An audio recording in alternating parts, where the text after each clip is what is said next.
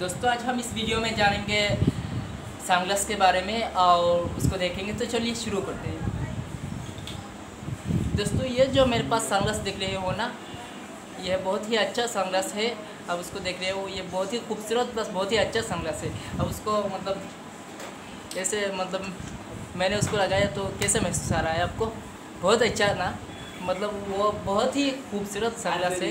उसका कीमत मैं जो कहूँगा वो मतलब एक सौ बीस रुपया से मैंने ख़रीदा। आप इंटरनेट से या कोई और मार्केट से ख़रीदोगे तो उसका कीमत और से उससे भी कम से आप खरीद सकते हो।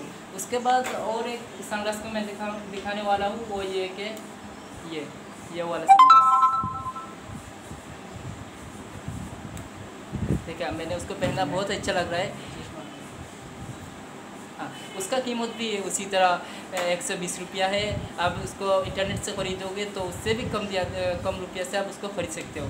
तो यह है आज की video and thank you for watching my video